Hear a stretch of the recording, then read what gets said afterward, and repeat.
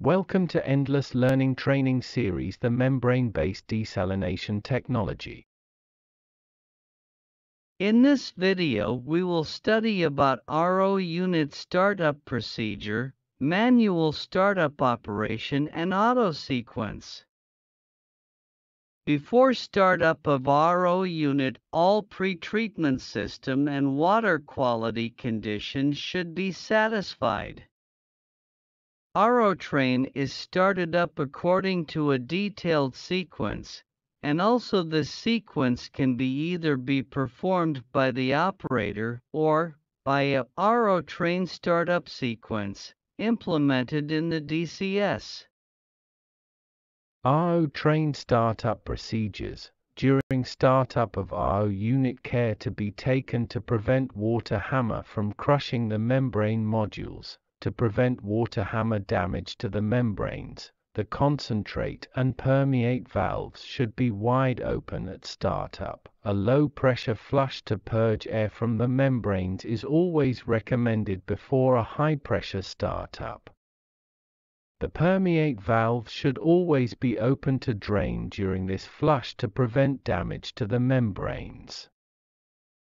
After the air has been purged from the system RO feed pump should be started slowly, increasing the pressure at a rate no greater than 10 psi per second at any time. If a variable frequency drive, VFD, is used, it can be adjusted to start up slowly. If not VFD then feed control valve should start open slowly until the desired recovery in feed pressure is reached, making sure that the pressure increases at an acceptable rate. The shims and thrust ring will minimize or prevent movement of the modules and to prevent damage to the membranes during startup and shutdown of the RO system. Ultimate objective of any startup scenario is to maintain the same pressure rise speed of 0.5 bar per second on the RO membranes from 0 to 70 bars. RO unit Control system, seawater after pretreatment is feed to RO unit with required flow and pressure. V1 is RO inlet valve, V2 is PX inlet valve, V3 is permeate outlet valve, V4 is permeate drain valve, V5 is feed vent valve, V6 is brine vent valve, PT1 is HPP suction pressure. PT2 is HPP discharge pressure, PT3 is brine pressure, FT1 HPP inlet flow, FT2 LPPX inlet flow, FT3 is HPPX outlet flow, FCV1 is feed control valve, FCV2 is brine control valve, HP is high pressure pump, BP is booster pump. Startup sequence is valid only if all the system, pumps, PX, pipes, etc., is vented properly and ready for operation. Startup sequence Step 1. Make sure either the permeate outlet valve V3 or permeate drain valve V4 is open. Startup sequence Step 2. Open the RO inlet valve V1.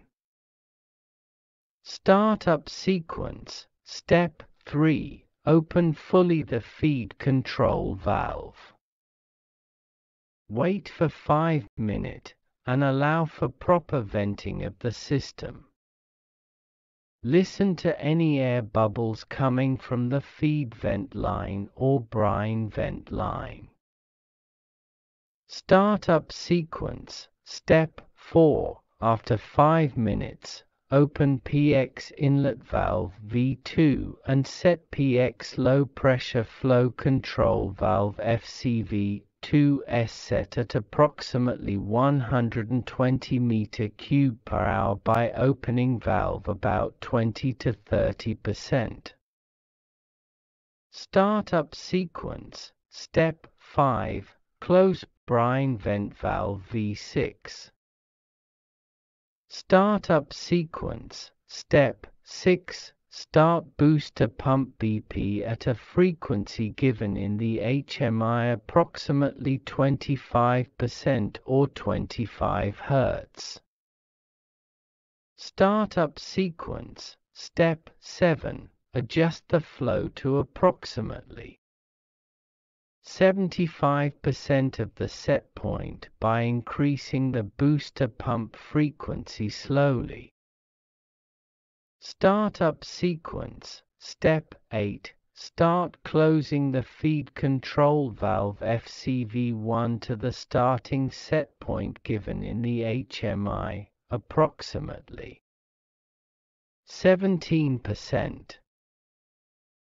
Startup sequence. Step 9. When the feed control valve reaches a position of 30%, Close the feed vent valve V5. Startup sequence. Step 10. When the feed control valve reaches a position below 17%, then start high pressure pump. Startup sequence. Step 11. Start opening slowly the feed control valve FCV1 within approximately one minute. The minimum flow of 60 meter cube per hour shall be reached. Startup sequence, step 12, the low pressure, LP, brine control FCV1 downstream of the pressure exchanger bank, PX, shall be adjusted to the control parameter setpoint to full load equals 276 meter cube per hour slowly ramped LPPX inlet flow. Startup sequence, step 13. To establish the high pressure loop of the pressure exchanger, PX increase the frequency of the booster pump to adjust to HPPX flow of FT3 control parameters set points slowly to full load equals 276 meter cube per hour after keeping above 100 cubic meters per hour for at least 2 minutes. Startup sequence, step 14, slowly open the feed control valve FCV1 and watch the feed pressure PT2 the increase of membrane feed pressure shall be less than 10 psi per second and very slow ramp opening. RO train control panel, parameter FT1 set point. Startup sequence, step 15. Readjust the low pressure flow and high pressure flow of the pressure exchangers during increasing of the HPP pump flow to operating conditions. Startup sequence, step 16. Check permeate quality at the conductivity instrument and select the permeate valve accordingly. Startup sequence, step 17. High conductivity, the RO permeate shall be drained with drain valve V4. Startup sequence, step 18. If the conductivity is acceptable, then first open outlet valve V3. Startup sequence, step 19. When the outlet valve V3 is fully opened only then close the drain valve V4. Note, at all times one permeate valve V3 or V4 must be open. First open one valve fully, only then close the other valve. Startup sequence, Step 20. Train is in full operation when the pressure PT2 reaches 40 bar, then RO control loop working according to set point parameter. Automatically.